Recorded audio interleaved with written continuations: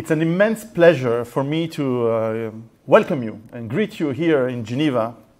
Uh, to all of you that, first of all, to all of you who came from uh, all over the place, of course, from Switzerland, but also France, UK, Sweden, Norway, Algeria, Morocco, Jura.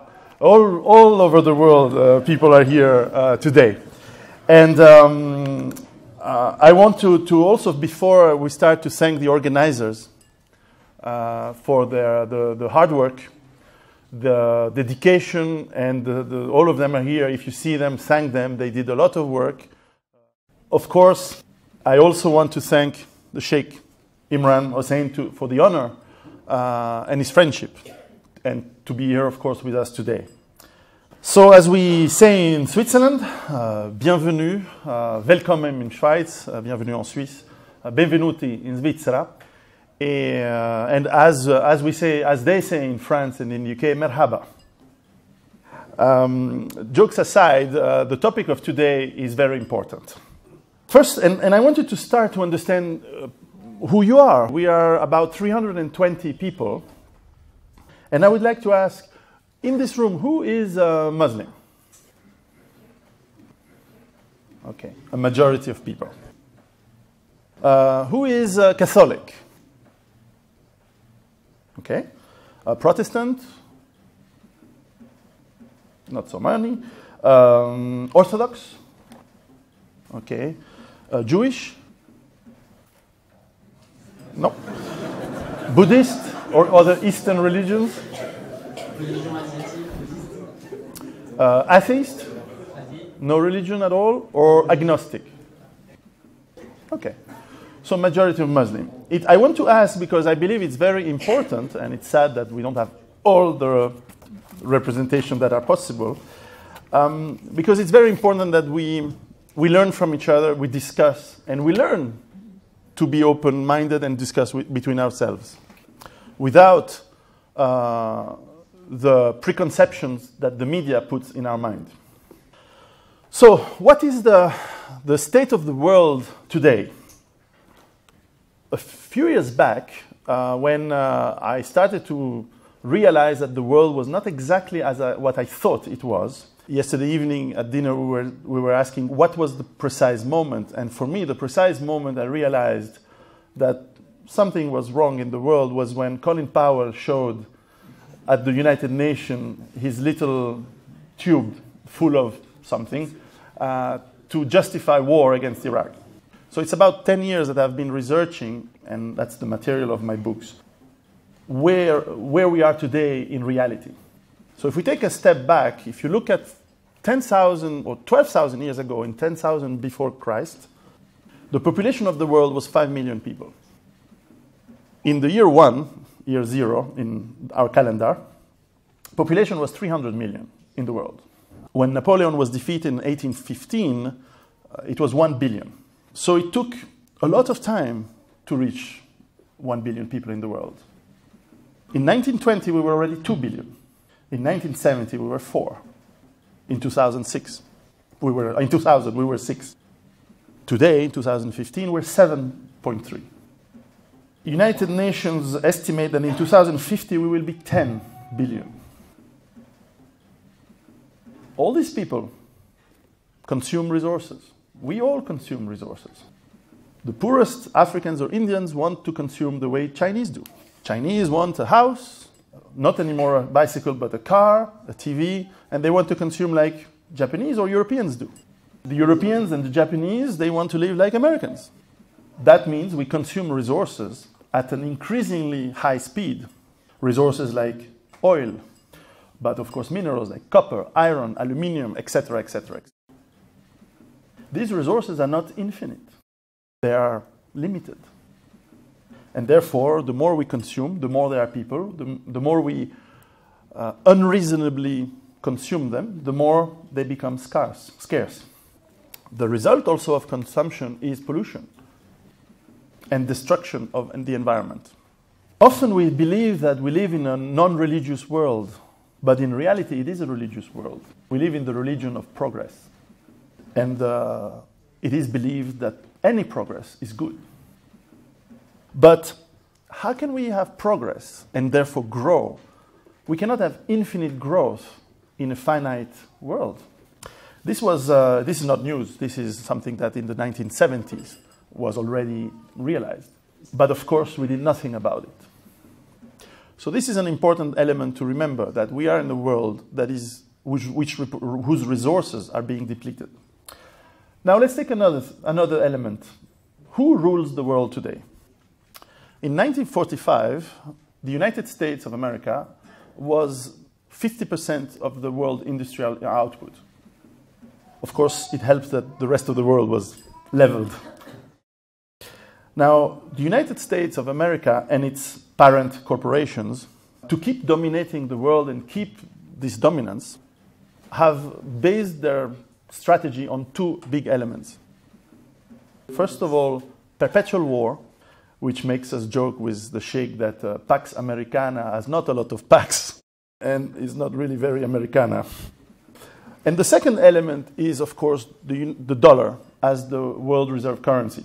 So the United States was actually lucky to have a, a, the, the, Soviet Union as a, an opponent because it could justify continuous war after the World War II. And Korea, Vietnam, all the wars in, in Latin America were extremely profitable for the military industrial complex that President Eisenhower denounced. And um, it was extremely valuable for the United States that the energy, which is mostly oil, could be bought with the dollar and only with the dollar. The problem with war is that while it is profitable for a few industries and people, it is not extremely constructive and profitable for society. So the United States found itself in the late 1960s bankrupt. And this is why Nixon, President Nixon in 1971, decoupled completely, finished to decouple completely the dollar to the gold. And since the 19, 1971, uh, the United States has been living exclusively on debt. Remember that the only money that is valuable in the world is gold and silver. The other big problem that the United States started to face in the 1970s is that since 1970 precisely, we are discovering every year less and less oil. We have reached the peak discovery of oil fields in 1970.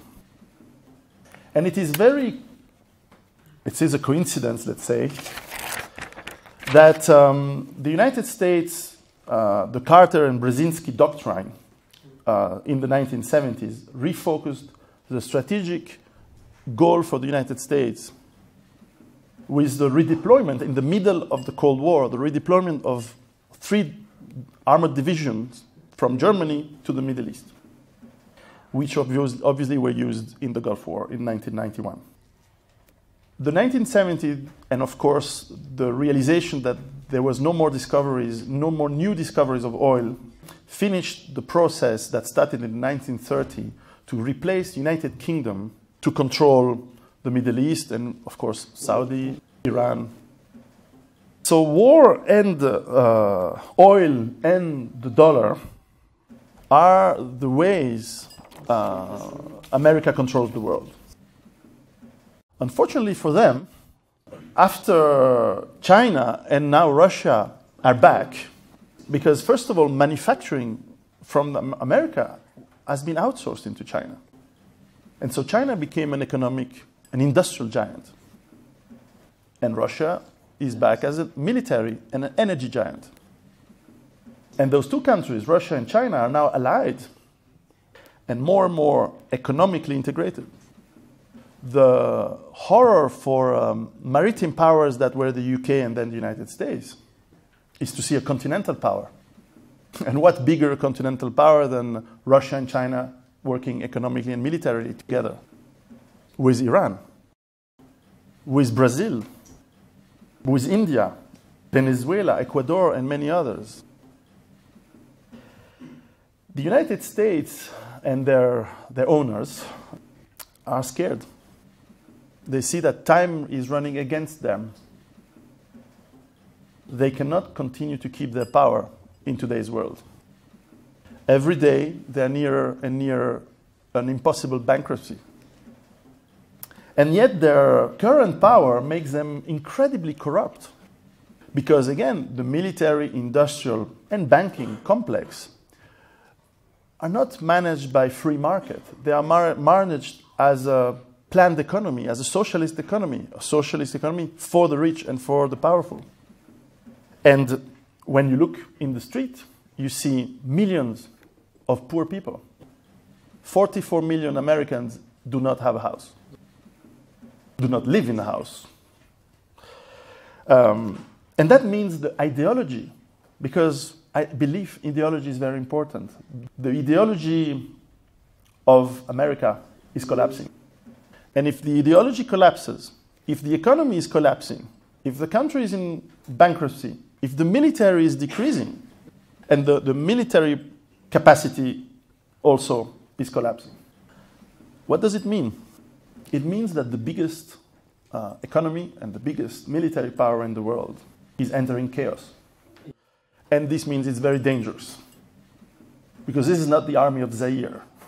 Sorry for Zaire, but this is, this is an army with 6,000 nuclear warheads. And I don't know you, but I don't like to have irrational people who are scared and irrational with 6,000 nuclear warheads. If the economy collapses in the United States, it means the economy collapses everywhere in the world. And such a collapse can have catastrophic consequences for people around the world, especially in the cities. Because we are relying on a very complex and efficient economy to get our food, our water, our medicine, our electricity, our transports. And when this is going to be missing, how are people going to react? In a world where people have been brainwashed, became stupid, because of television, because of consumerism, because of immediate gratification for every one of their pulsions and needs. I don't think they're going to react very well. So the long crisis we're in can become a very short, brutal, acute crisis very fast. So the, the leaders in, in America, it's not Bush uh, and Obama, by the way, they understand that and uh, they are panicking. And I also think they are very incompetent, or maybe they're crazy, or all of the above. But they know that time is running against them. And um, they, must, they must act. They must act to keep their power and to keep their dominance on the world. And so far, the only way they did that is to create chaos, to create war to create tensions between people, tensions between uh, communities, tensions between religions.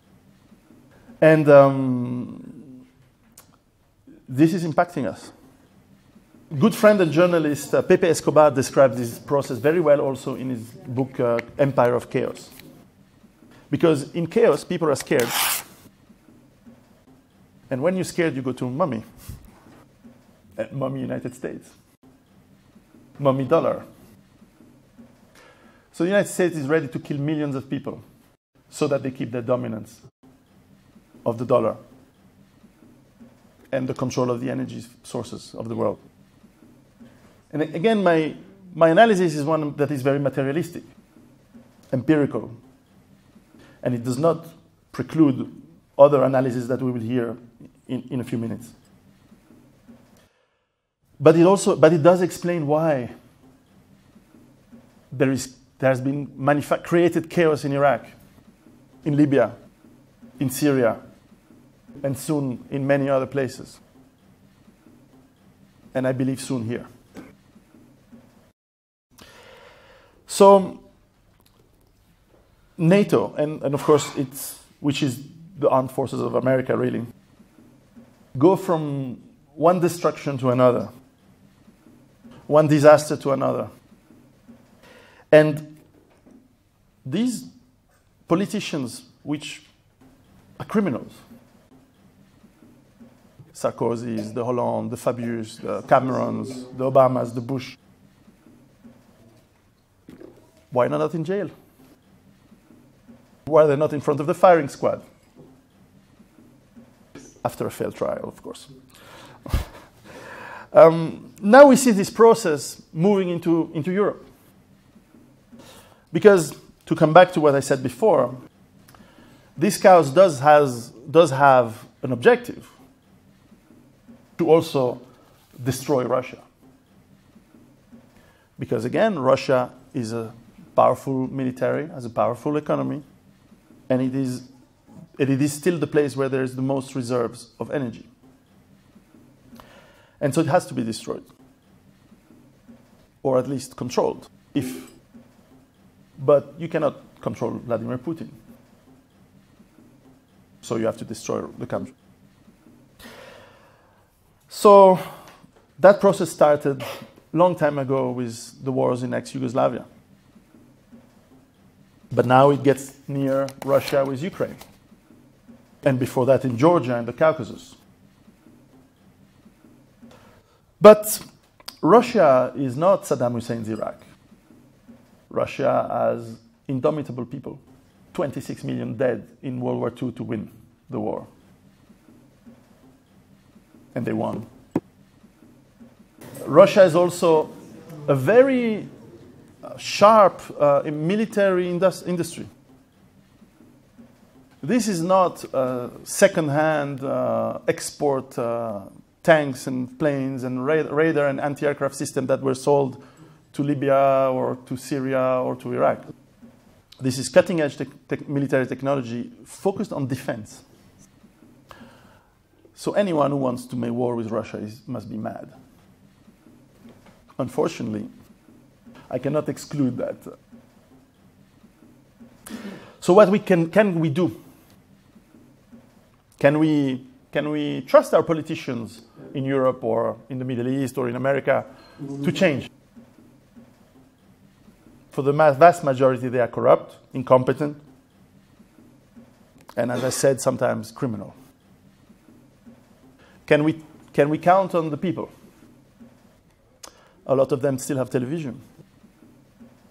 But you in this room are part of the millions of people today who are changing, who are changing themselves, and then who are changing people around them. Slowly. Unfortunately, slowly, but we cannot go faster because people are in denial. People want to continue to consume because it's pleasurable. The truth is hard, whether it's, a, it's on a materialistic approach or on a, or on a, on a spiritual approach. But we can reinform ourselves, we can re educate ourselves, we can learn, we can read, and then we can act. And my humble approach, my humble advice that I explain in my books is, of course, that we can learn to be autonomous, or as autonomous as we can. Because when we're autonomous, we can be independent, and maybe we can be free, at least free from the slavers that are around, and more and more of them. So I explain how to build a sustainable autonomous base which are based on reaching autonomy for water, for food, for medicine and health, on energy, on knowledge, in defense, and in social communities. And this is how I met the Sheikh. I was listening, very interesting, to many of the videos and of his speeches online. And I was surprised to hear that someone from a, such a different background, from an approach that, they are, that is spiritual, of course, very educated, can come from the study of Islamic eschatology to reach the same conclusions that I did in a purely materialistic approach. So we met, shared ideas, shared thoughts. And we agree on the, on the path. There are not a thousand ways to do it. Maybe there is a, a few materialistic approach to save our, our bodies, which humbly is only what I ambition to do. I cannot speak more than the materialistic approach. And, and of course, the Sheikh will talk you, will, will go further into other ways to save ourselves. And therefore, it is also important that we meet today all together, because with understanding and with autonomy, we don't have fear. And therefore, when you don't have fear, you can build peace and you can build dialogue and you can maybe solve, maybe, the immense problems we're facing today. Because if we don't talk, and if we don't talk in peace, we will end up killing each other. And some people are just waiting for that because you make a lot of money out of people killing each other. And even if they are crazy, which I think they are, it doesn't mean they're not going to try. So, my friends, today, it is really with humility that, that I'm here and that I encourage all, all of us together to always dialogue, to not overreact to the news. Because when the news shows us people in Syria beheading people with a knife, it's meant to make us hate each other. When the media show in people making fun of other people's religions, it is made for us to hate each other. I've had threats today. I've, I've received threats from, for this conference. And they say, Why are you talking to a Muslim? Muslims are invading Europe. Muslims are taking over the world. I look around me. I look at TV presenters, politicians. I look at the people which I pay taxes to. I look at the general of the armies of NATO. I don't see Muslims. It doesn't mean there are no problems. Doesn't mean we don't have uh, massive problems in which Muslim people are linked. But Islam is not my enemy. Islam is not uh, a problem per se. Maybe people who claim to be Muslim can misbehave and create problems. Yes. But always we need to discuss first. And remember that the other alternative to peaceful discussion is war. And uh, history shows that the wars are getting harder with more death, more brutality, more savagery, and much less compassion than before. This is not Saladin or Richard Lionheart anymore. This is gas, uh, artillery, massive destructions on civilians and everyone. So in the end, the choice is ours. For me, for you, for everyone. Are we going to go the easy way, which is to, to follow our pulsions and listen to the media and, and go to war? Or we say no? I say no. And uh, that is what I hope that uh, we will all do. And with this, j'espère que c'est ce que vous ferez également. But everyone has its choice. Vous avez tous votre choix. So with that, I would like to leave the, the tribune to uh, the Honorable, Venerable Sheikh Imran Hosein, and um, which I must thank for writing the, the foreword of the Arabic version of, uh, of, my, of my book, which you have never had. So this is your copy for you. Merci beaucoup. Thank you very much.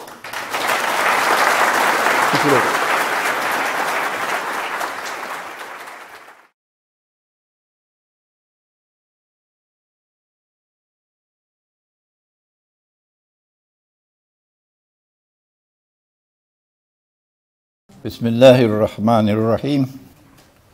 We begin with Allah's blessed name. We praise Him and we glorify Him as He ought to be praised and glorified. And we pray for peace and for blessings on all his noble messengers, on our father Adam, our father Abraham and Moses, on Jesus, and on his mother, the Blessed Virgin Mary, and on the last of them all, the Blessed Prophet Muhammad sallallahu alaihi wasallam. Uh, my learned friend Piero San Giorgio, brothers and sisters, Assalamu alaikum and bonjour.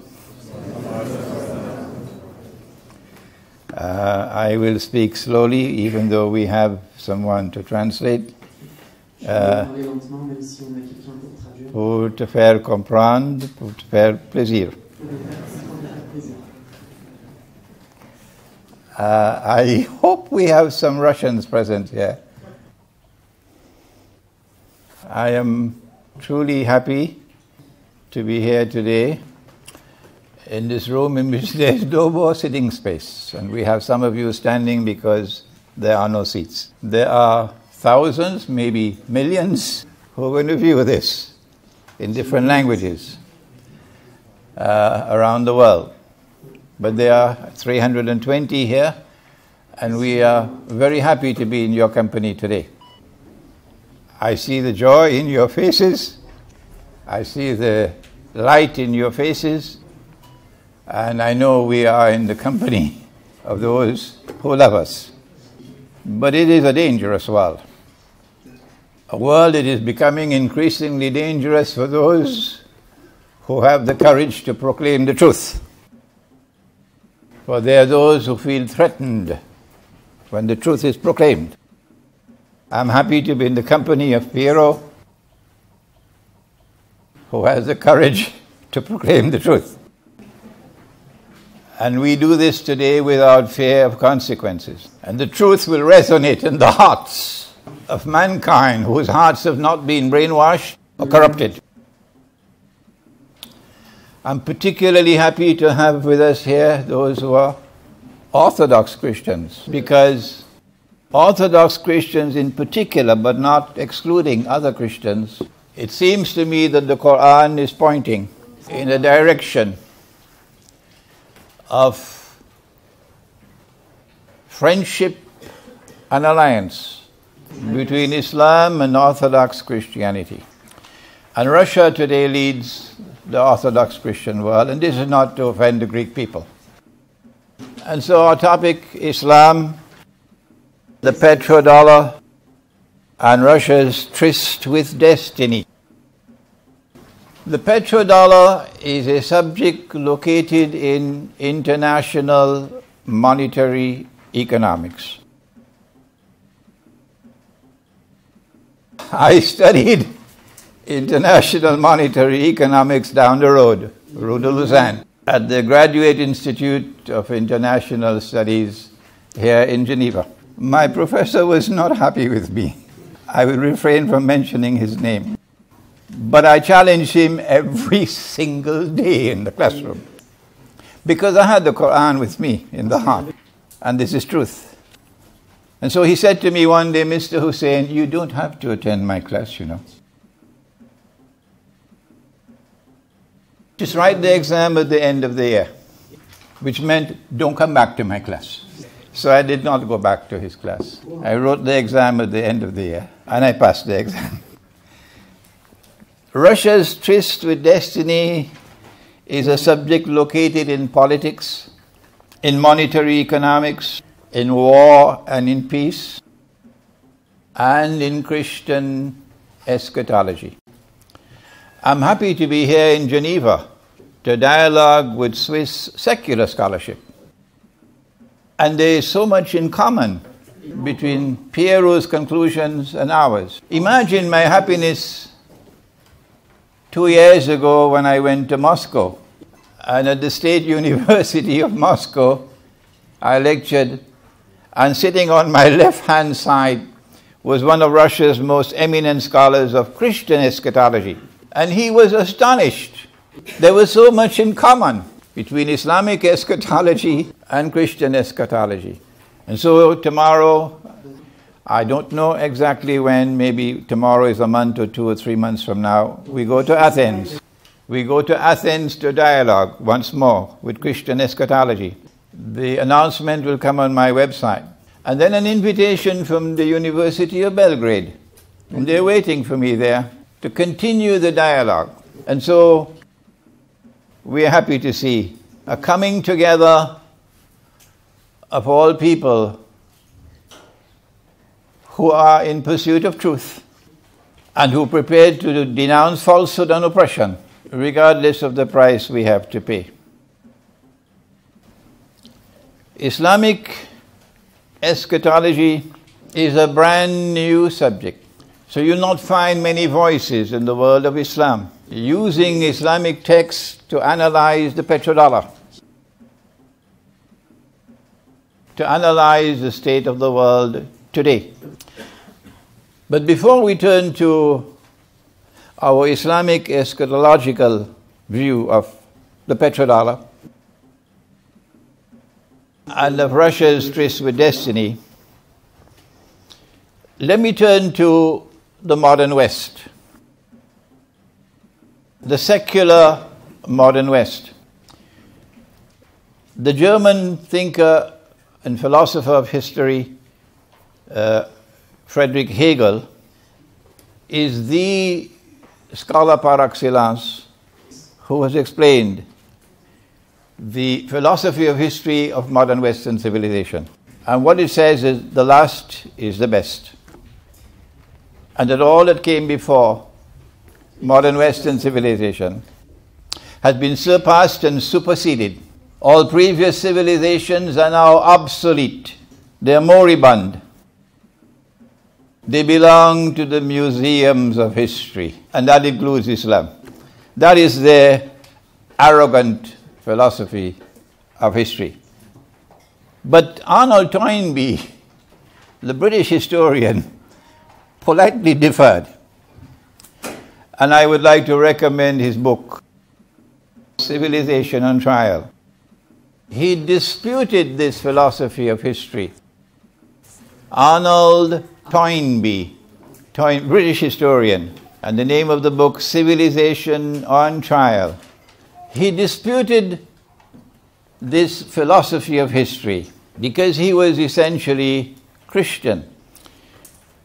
He recognized a mysterious Western agenda at work to impose its dominion, political, economic, and otherwise, upon the world.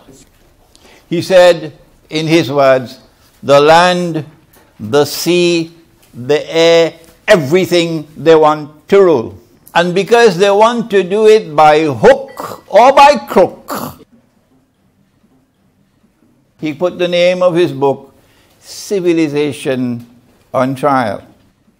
He discerned in modern Western civilization at the heart of it a claim to be the chosen people of the Lord Most High. That sounds like religion to me. That sounds like eschatology to me. We are the chosen people. And he also discerned a mysterious connection between an all powerful modern Western civilization as the chosen people of the Lord Most High with an agenda that was mysteriously connected with the Holy Land.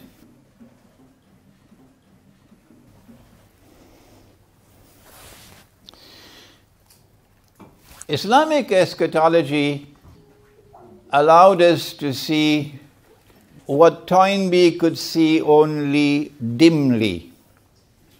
Islamic eschatology has allowed us to see and recognize that which Toynbee could only see dimly, not because of any inadequacy on the part of Toynbee, but because it was too early to recognize the footprints that were being created by the arrogant West.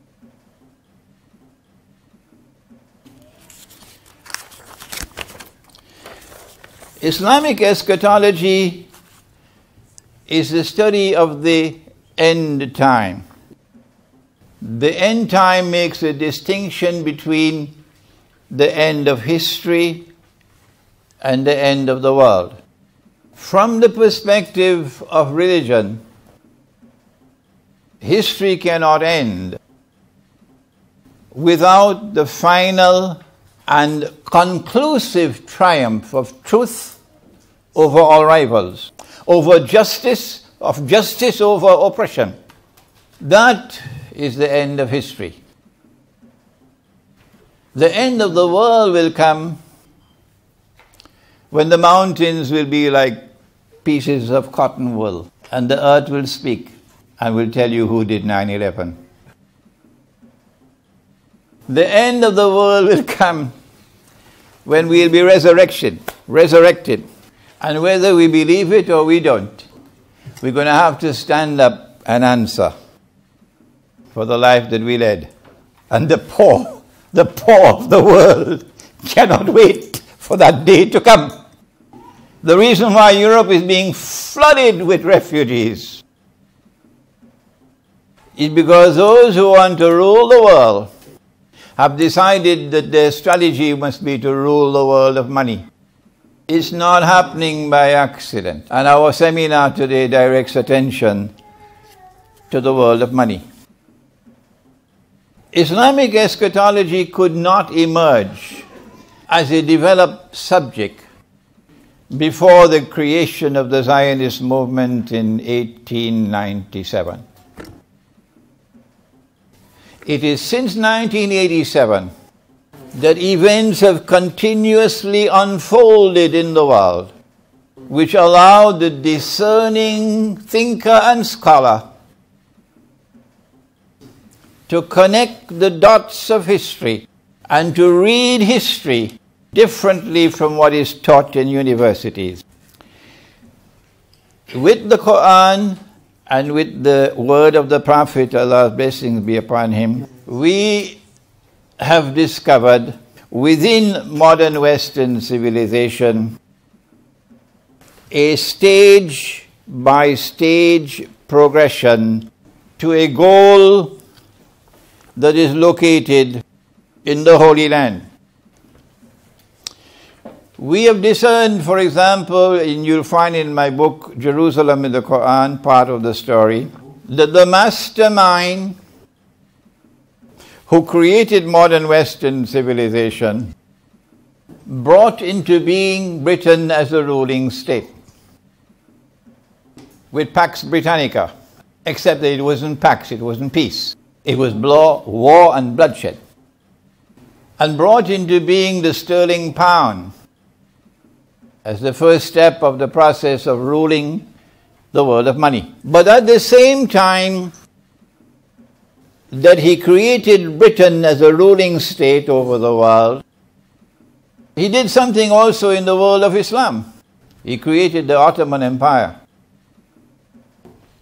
to do what Britain was doing, to establish his rule over the world of Islam. And some of you may not like this, but to do his dirty work for him. And it is time for Islamic scholarship to wake up and to recognize the essentially evil nature of the Ottoman Empire, playing a sinister role in sabotaging an end time alliance between the world of Islam and Orthodox Christianity, located in the Quran and prophesied by Prophet Muhammad, Allah's blessings be upon him. That was the Ottoman Empire. And then came Islamic eschatology's recognition of stage two. There was a mysterious passage from Pax Britannica to Pax Americana. And the United States emerges as the new ruling state in the world. and the US dollar replaces the sterling pound. But in the same way that Britain had a mysterious link with the Holy Land, shall I remind you of the Balfour Declaration? Similarly, the United States had its naval string attached to the Holy Land. At the same time that the mastermind brought into being Pax Americana to replace Pax, Pax Britannica in an effort to rule the world, he also acted in the world of Islam to demolish and dismantle the Ottoman Empire and to replace it with something with more evil in it the Saudi Wahhabi nation state. And now that the time has come for the sun to set on Pax Americana and for Pax Judaica to replace Pax Americana, and if you cannot connect the dots, you have homework to do. Similarly, Saudi Arabia is now destined for the garbage bin. But this has not as yet reached the political scientists. This is Islamic eschatology. And the mastermind has something even more evil than Saudi Arabia to replace it. It's called ISIS, or the Islamic State, the bogus Islamic State. And of course, when we speak like this, our lives are in danger. We know who created ISIS. We know who is funding ISIS. We know who's providing the weapons. We know who has the state of the art videos to video their tips. And we know those who are using deception to throw wool in our eyes. But we proclaim the truth as we see it. And we say to them from Geneva that you can kill a man, but you cannot kill the truth. This is our this is our viewpoint from Islamic eschatology. As we read history and we anticipate tomorrow. A mastermind has created a civilization, a civilization which today has been hijacked by a people who have PhDs in arrogance. All must submit to them, including Greece. All must submit to them, including China. All must submit to them, including Russia.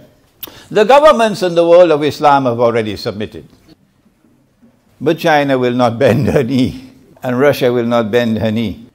And the true follower of Muhammad, Allah's blessing be upon him, will not bend his knee. It is arrogance it is arrogance to seek to establish your rule over all of mankind using the petrodollar.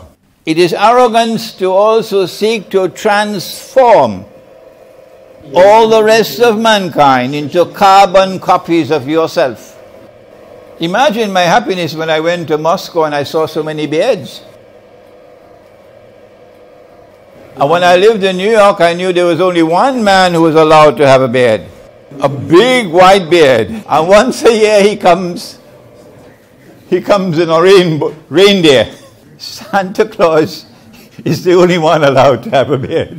That's arrogance. Do you even want to rule my face?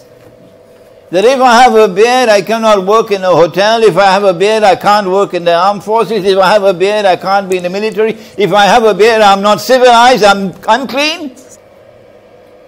It's not just arrogance, it's also power being used to oppress. But one day the oppressor will bite the dust. But those who have hijacked modern Western civilization are also a people who are cunning. They have PhDs in deception. Malcolm X used to say, Be careful. They will convince you that you are walking west, when in fact you are walking east. And our Prophet said, Allah's blessings be upon him, that that mastermind comes with a river and a fire. The mastermind, of course, being the Antichrist, Dajjal. But his river is a fire, and his fire is the cool waters of a river. Whoever falls in his river will have his load of sins increased. Whoever falls in his fire will have his load of sins decreased. In other words, They take the road to heaven and make it look like the road to hell. And they take the road to hell and make it look like the road to heaven every night on television. Which is why Piero doesn't have a television in his home. And Imran doesn't have a television in his home. And when you go back home, you know what you do with your television. I want to finish my comments on modern Western civilization by saying one more thing. The Lord God has ordered punishment for a number of crim- criminal acts. Cut off the hand of the thief, not for stealing a mango, but if you cut off the hand of a thief today, the banking system will collapse because Islam, the religion, insists on a free and a fair market, that's all. It is this absolute commitment to a free and a fair market which does not exist anywhere in the world today, and which is why Europe is being flooded with refugees, not because the refugees are bad people. You have destroyed the free and the fair market. And it is because Islam is absolutely insistent on the establishment and preservation of a free and a fair market that the Lord God has said, cut off the hand of the thief. But that's not the worst punishment of all. The worst punishment in the Quran is the punishment for something called fasad. Fasad is that which not only corrupts but also destroys. It does not direct attention only to the individual, it corrupts the whole society, it corrupts the world. And modern Western civilization has PhDs in fasad. And so, now to conclude my comments on Islamic eschatology, we recognize Gog and Magog to be at the heart of modern Western civilization. That we now live in the world order of Gog and Magog, and the mastermind using and exploiting Gog and Magog is Dajjal, the false Messiah. And so, my dear audience, I say you have some homework to do. If you are to get the eschatological view of the world today, you've got to study Gog and Magog. You've got to study the Antichrist. But it's not easy. You need a versatile scholarship. Traditional religious education is inadequate. Islam, Christianity, and Judaism, all three religions, have an identical view of the end of history. They say the same thing that history is going to end with the advent of the Messiah. The Christian and the Muslim view is that Messiah came, the son of the Virgin Mary. The Christian and the Muslim view is that the Messiah is coming back. And when he comes back, truth will triumph over all rivals in the world and justice will triumph over oppression. The Jewish view is that the Messiah has not as yet come.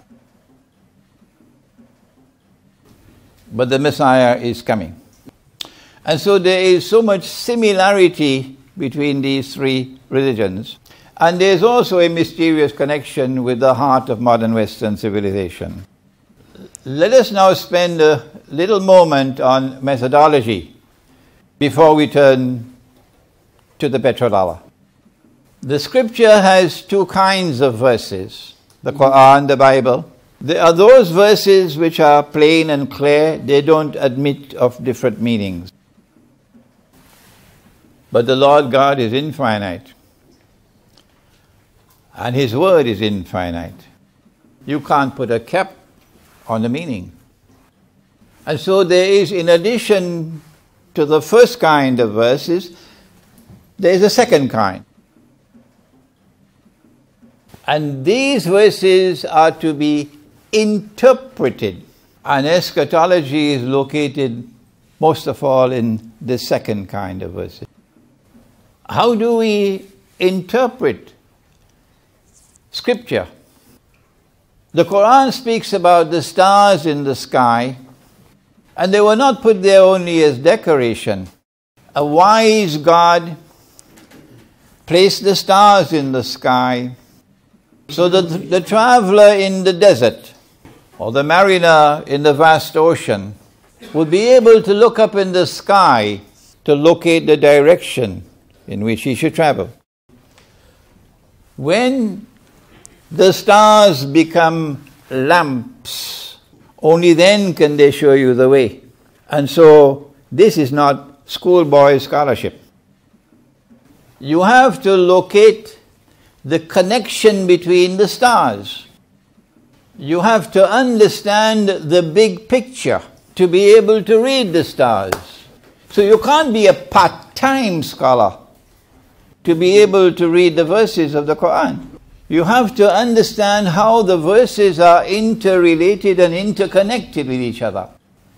And this brings me to Piero San Giorgio. You cannot connect the dots of history without insight. About a year and a half ago, he wrote to me.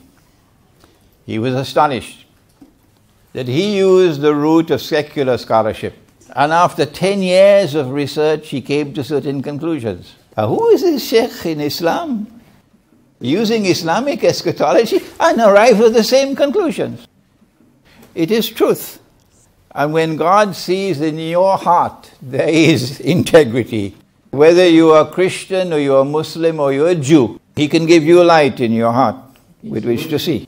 The Muslim can be blind, and a Christian can have the light because there's integrity in his heart. And this one is not facing Makkah when he prays, he faces Washington. So I said to Piero when he visited me in Malaysia, I said, Piero, you could not have written this book. I asked for the, English, the French version, it's not here yet. This is the Arabic version. Uh, Surviving Economic Collapse. Please read it. And for the Arabic speaking world who are going to look at this video, here's the book in Arabic. He could not have written this book without insight. You cannot connect the dots of history without insight. Insight comes with light, light which comes from God. It's not sold in a supermarket. Our Islamic eschatological view is that the petrodollar emerged as part of a master plan to hijack the world of money and then to use money to force the submission of all of mankind, including Greece, to the Western rule. Russia with great courage, has decided to challenge that hijacker. And I hope that uh, Piero would spend some time later on BRICS. The challenge to the petrodollar has come from BRICS. And that is going to lead to war. And that war is going to be nuclear war. Now let us turn to Islamic eschatology. The Prophet said, Allah's blessings be upon him, that the river Euphrates will uncover a mountain of gold. And people will fight for that gold. And 99 out of every 100 would be killed. And so it'll be a unique war in human history, like no other war has ever been. Looks very much like nuclear war. And each one would say, I will be the one who will survive the war. So it's a guessing game. They enter into the war not knowing what is going to be the end of the war. NATO can put that in their pipe and smoke it. But the Muslims, or sorry, the believers, believers in the one God, must not touch that gold. Wrong methodology is to wait for a mountain of the metal to come out of the river. Right methodology is to recognize that this is symbolic language. It has to be interpreted. It could not have been interpreted before 1974. We don't have the time to take you to Bretton Woods we don't have the time to take you to the International Monetary Fund. We don't have the time to explain to you the origins of the US dollar as the uh, international currency. Suffice it to say that there was a fig leaf of integrity attached to the US dollar, that by international law it was redeemable in gold at the rate of $35 US to one ounce of gold. So if you had $35 and if you were a central bank, not Imran Hosein, you could go and knock on the door of Washington and say, Uncle Sam, I want my ounce of gold. That fig leaf disappeared thanks to France, thanks to a courageous, a very courageous French leader. I met with Dr. Muhammad Mahathir, the Malaysian former Prime Minister, and said to him, You were not the first, Dr. Mahathir. You were the second. The first was Charles de Gaulle who stood up in the French National Assembly and denounced that monetary system as unjust and paid the price for it, of course. But after he resigned, the French government continued his policy of bringing US dollars and seeking to redeem them for gold until August or September of 1971 when the United States said, now this is too dangerous. They had printed far, far, far more paper than they had gold. Uncle Sam should have been sent to jail. That's fraud. What Nixon did was to say, we gave our word, but we don't have to keep our word. It's called pacta sunt servanda in international relations. When you give your word, you must keep your word. But he took this international obligation and he tore it and threw it into the garbage bin. And from September 1971, the US dollar was in no man's land. If de Gaulle was still alive, perhaps he could have brought it down. Two years later, the war took place of 1973, the Arab Israeli war. And the mastermind was on both sides of the war. and as a consequence of that war, King Faisal of Saudi Arabia imposed an oil boycott on the United States. Most of you probably already know because you've been listening to my lectures, but they knew what would happen if that oil boycott was imposed. They knew. They wanted it. And when the oil boycott was imposed, guess what happened to the price of oil? It rose by 400% because the US dollar collapsed by 400%. And the Arabs were smiling. They've become fabulously rich overnight. It was at that time that Henry Kissinger pulled off the greatest stunt in human history. And an ocean of oil, an ocean of oil began to function as a mountain of gold. Know that uh, this is not boasting on my part. You boast, God takes away your knowledge from you. I know that I am the first to interpret it this way.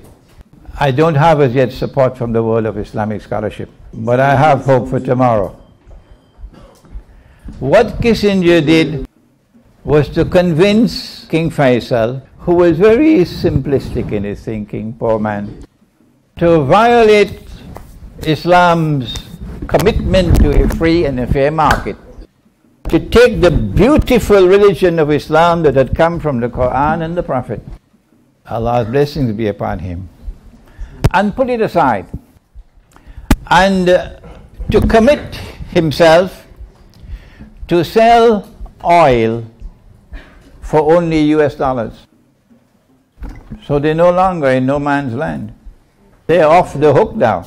Then he had to convince the other Arab oil producing countries to do the same.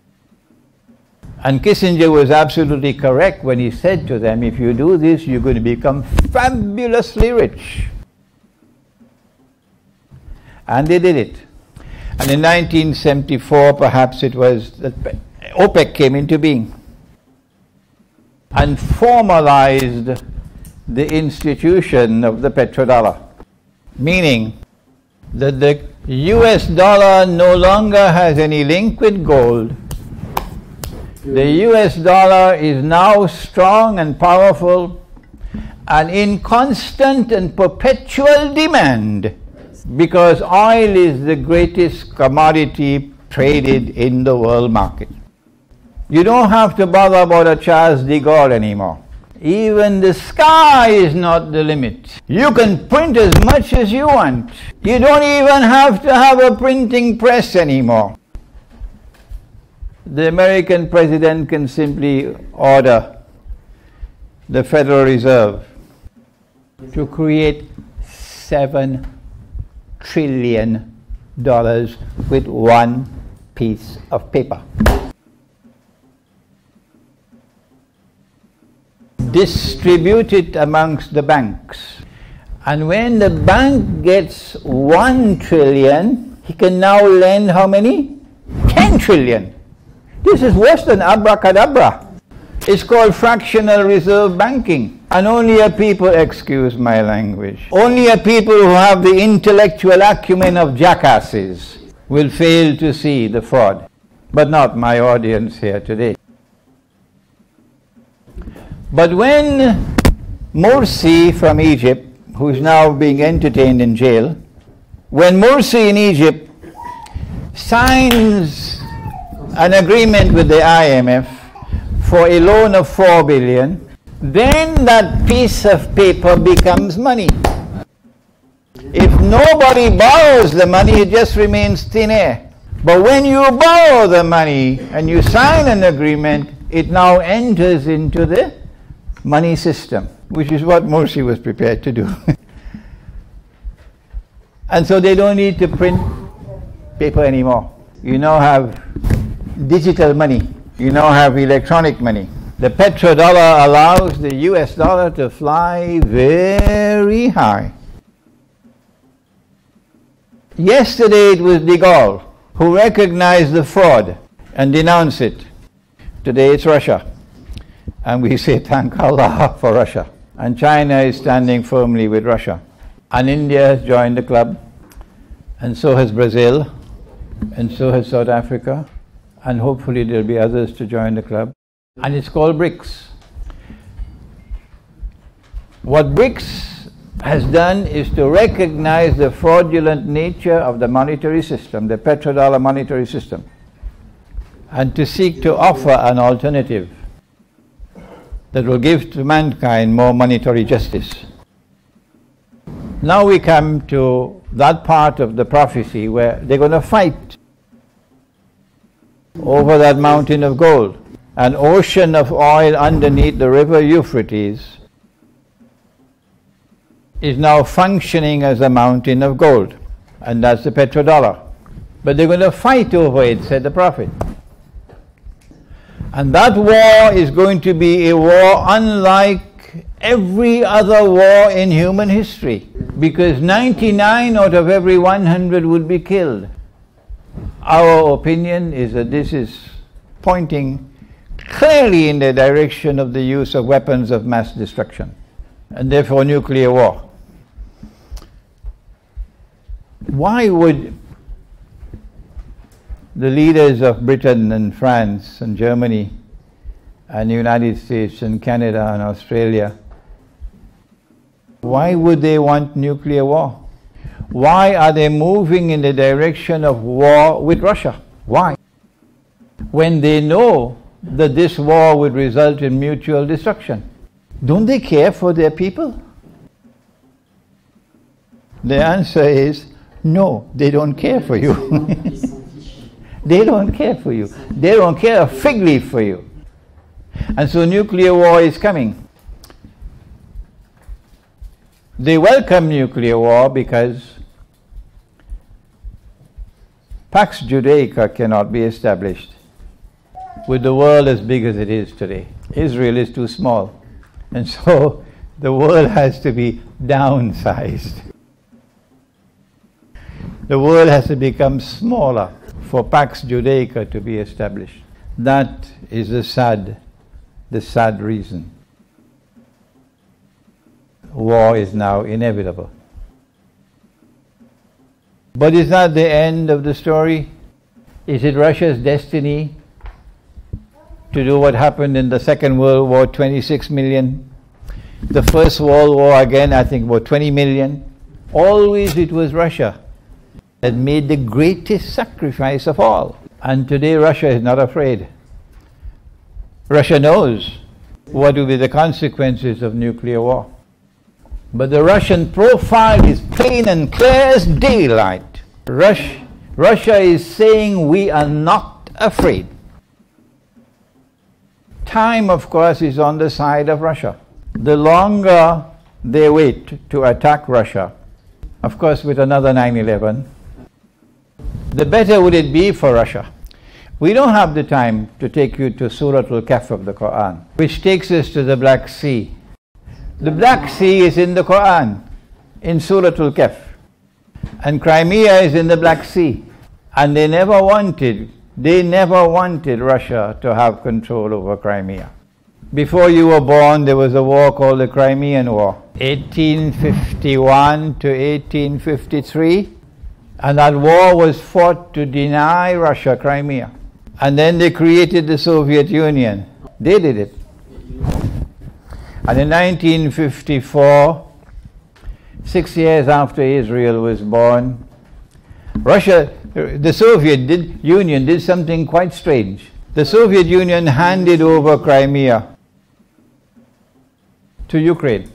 And the master plan was that Ukraine will join NATO and then Russia will give marching orders, get out.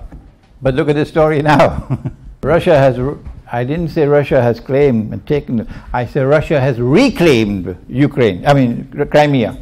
And Russia, the naval nuclear power, is now exerting its influence and power all over the Black Sea, which is why Turkey is crazy now.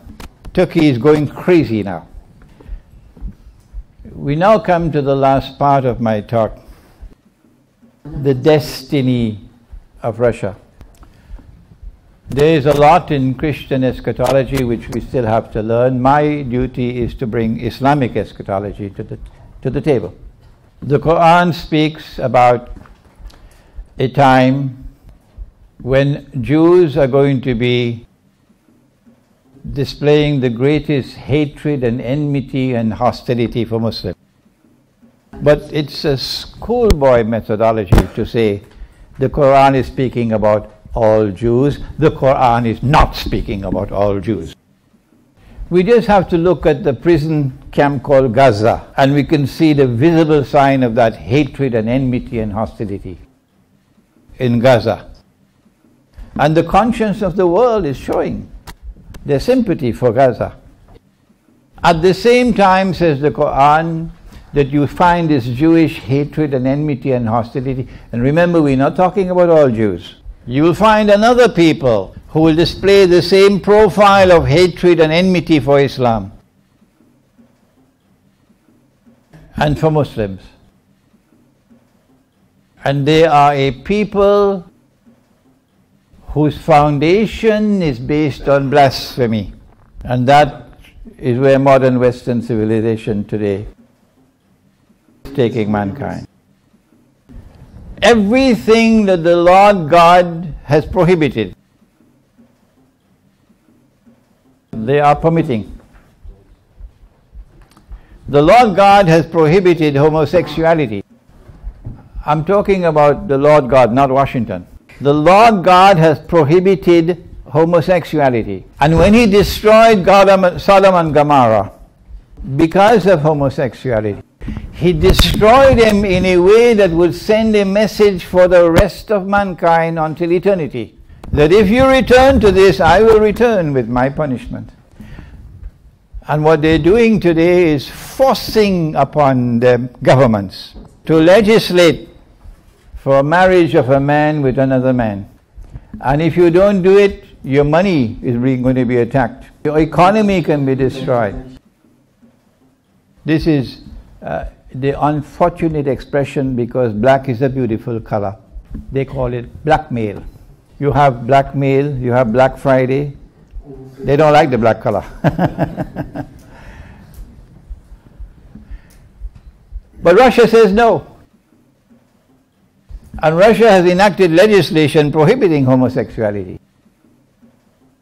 And Eastern Orthodox Christianity is standing up against them. And so the Eastern Orthodox Christian world is not a part of your modern Western civilization. Your Eastern Orthodox Christian world does not have this arrogant agenda of imposing its rule on all of mankind. The Orthodox Christian world does not have the agenda of seeking to transform all the rest of mankind into carbon copies of itself. And so the Quran goes on to say that at the same time that you have this Jewish hatred and hostility, and you have that civilization founded on blasphemy, displaying the same war on Islam, you will find that there will be a people, you will find that there will be a people who will be the closest in love and affection for you. And I hope Bosnia is listening. And Kosovo is listening, and Albania is listening, and Macedonia is listening, you will find that there will be a people who will be the closest in love and affection for you, who will say, We are Christians. And that is because the Quran goes on to identify who are these Christians. It gives us three ways by which we can recognize Number one, they still hold on to monasticism. The monasteries, the monasteries in Paris and Washington are now McDonald's hamburgers and Pizza Hut and bingo halls. But the monasteries are returning to Russia. And every Greek is proud of his monastery monasticism is still alive and powerful and strong in the Eastern Orthodox Christian world. The Quran speaks and says something more. It says that they are not an arrogant people. And then finally, the Quran identifies those Christian people in a chapter or a surah of the Quran named after them. They are called Rum. Rum. And the Quran says Rum was defeated in a land close by, close to Arabia. So that eliminates Chicago. But the Quran prophesies that within a few years they will reverse this defeat and become victorious. And on that day when Rome is victorious, you Muslims, and the Prophet is still alive at that time, you Muslims will be celebrating their victory. You can do what you want with your Salafi methodology. You cannot cannot, cannot deny the truth. That when the Quran speaks of Rome, it was speaking about the Byzantine Orthodox Christian Empire. It was speaking about Orthodox Christianity.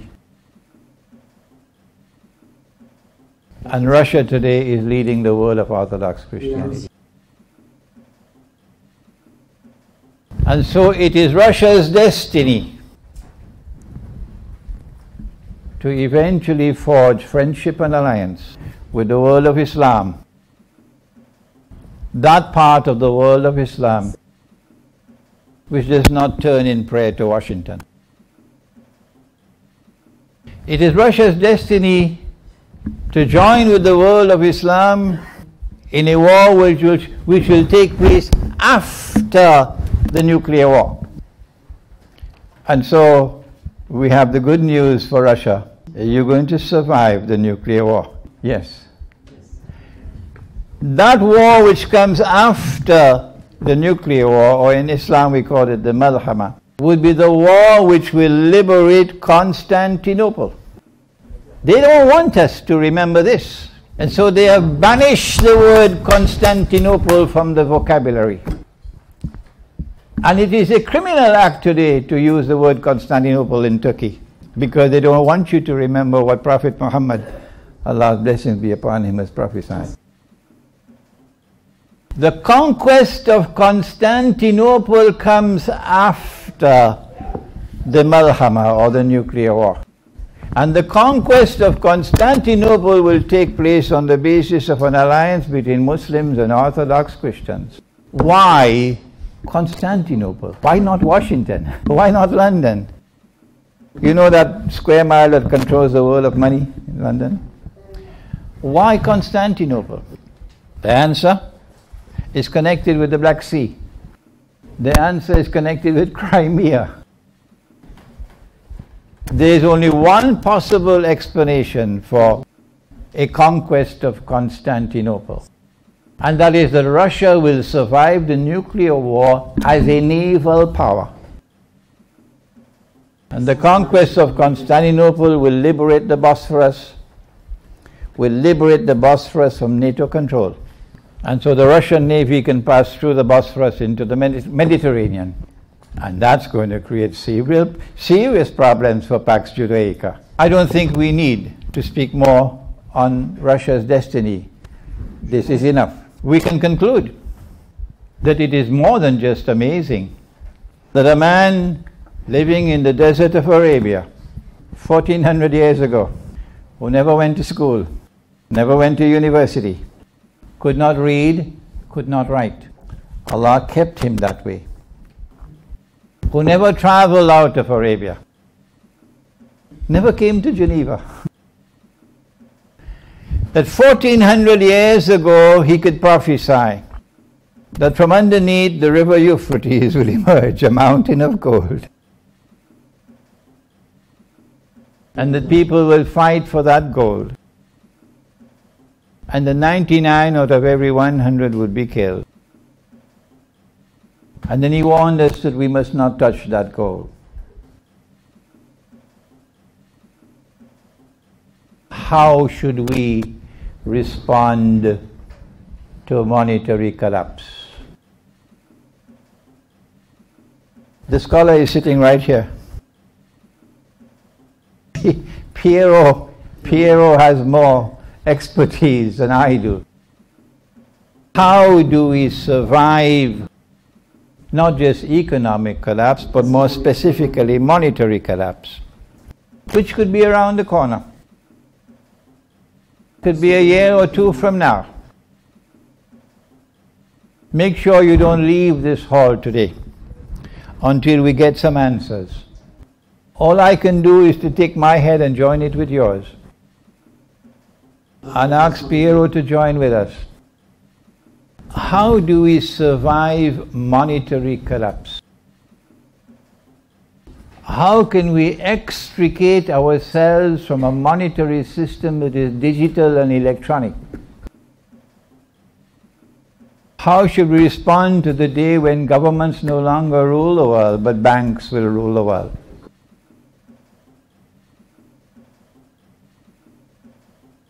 I leave you with these intriguing questions.